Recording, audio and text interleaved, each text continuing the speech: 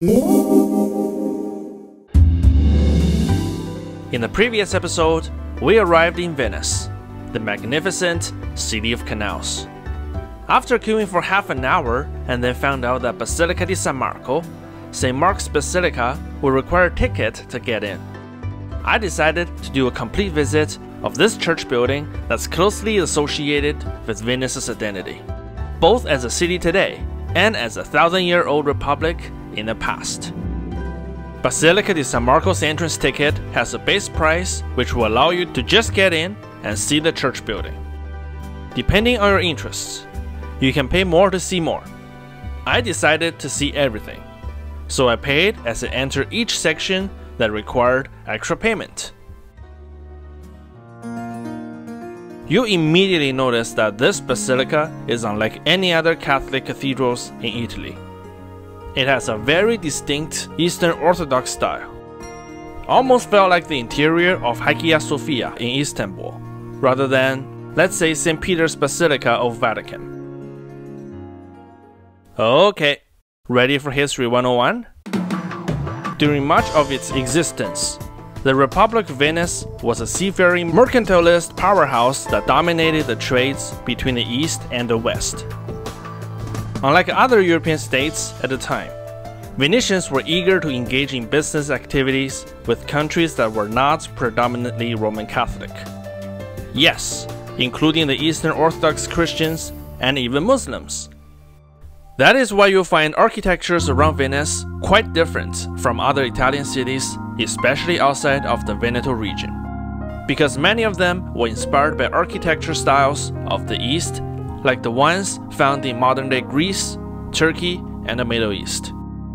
At the time of the basilica's construction, the eastern part of the Roman Empire that did not fall, also known as the Byzantine Empire, was the shining beacon of the Christian world during Europe's dark Middle Ages.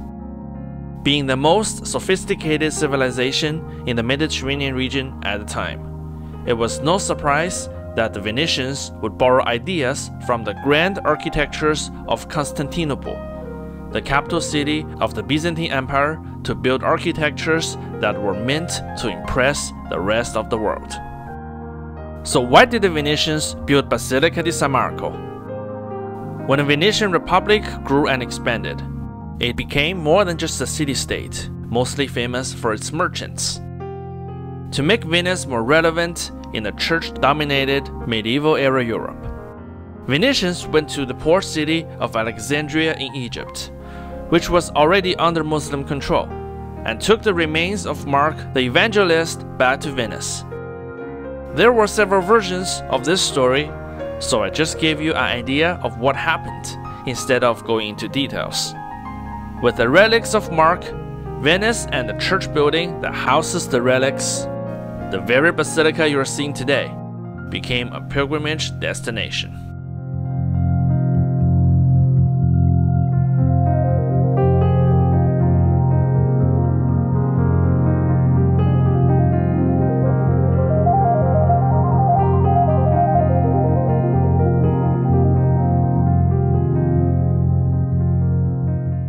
In the center of the basilica, you find an altar this is where the remains of Mark the Evangelist are kept.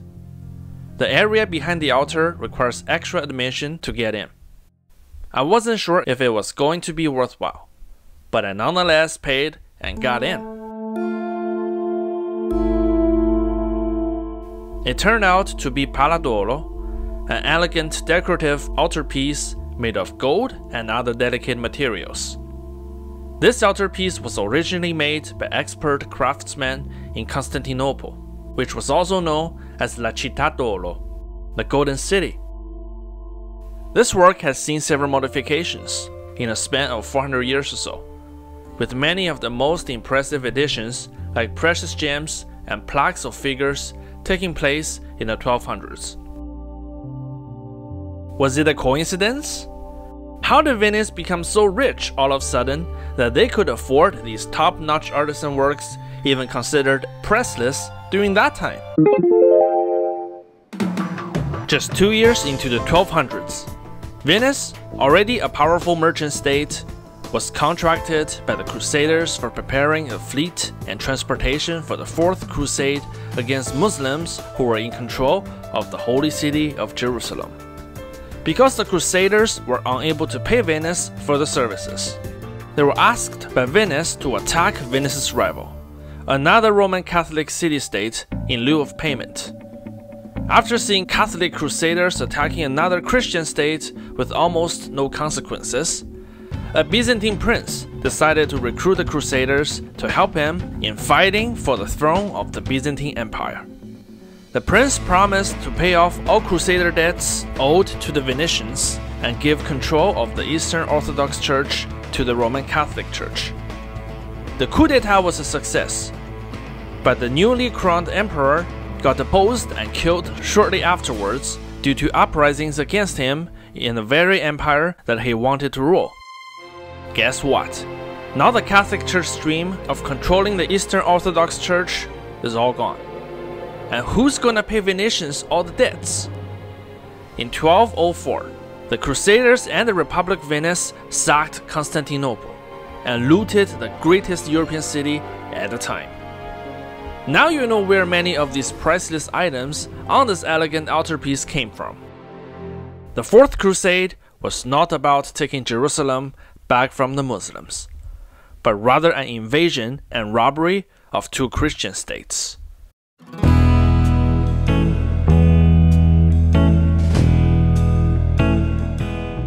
To access the basilica's higher floors, you need to pay another admission in order to get there you'll find the Museum of Basilica di San Marco.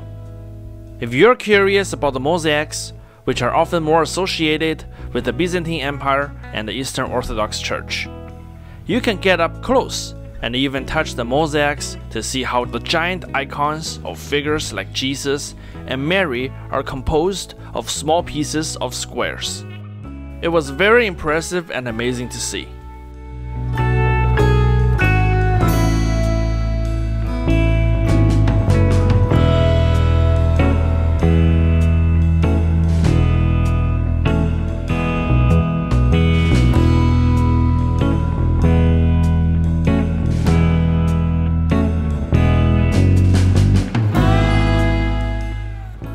Being in Italy, you know that when you need a quick break, there is always Il Cafe nearby.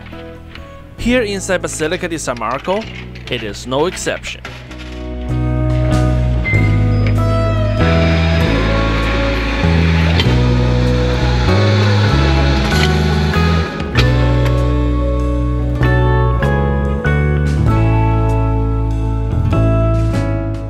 Don't think you'll just find mosaics in the museum section of Basilica di San Marco. You'll find some iconographies, again, more associated with the Eastern Orthodox Church rather than the Roman Catholic Church, and statues of four horses. These statues, known as the Horses of St. Mark, were looted from Constantinople during the Fourth Crusade. Believe it or not, Napoleon at one point even looted these statues from Venice but later returned back following his defeat. These statues once stood on the facade of the basilica, but have been since replaced with replicas to better protect the original work, which dated all the way back to the classical Greek era. Let's check out the replicas now, shall we?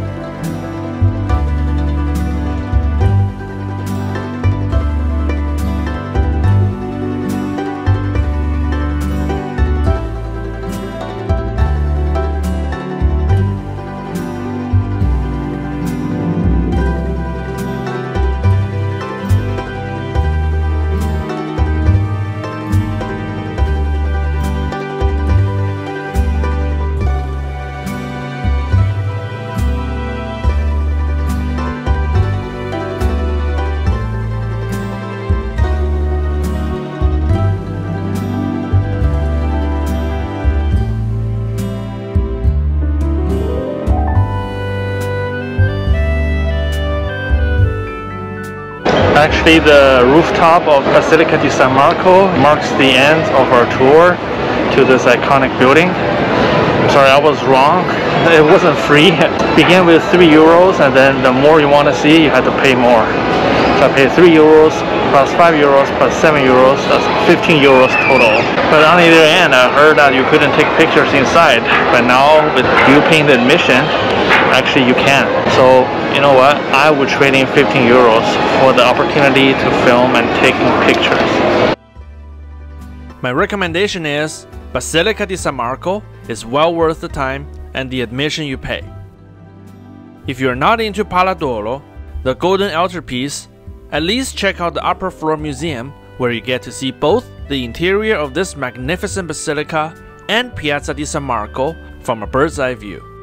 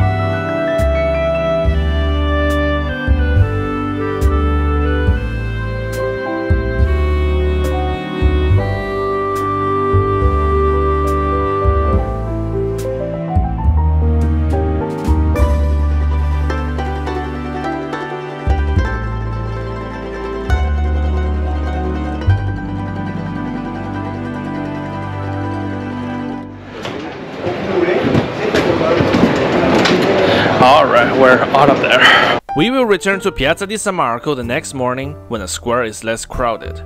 All thanks to my hotel's prime location. For now, let's get out of the bustling San Marco area and see what else Venice offers. Our Venice adventure continues as we escape the tourist crowd and venture into a beautiful neighborhood that's less visited. What will we see? Follow me to the next episode.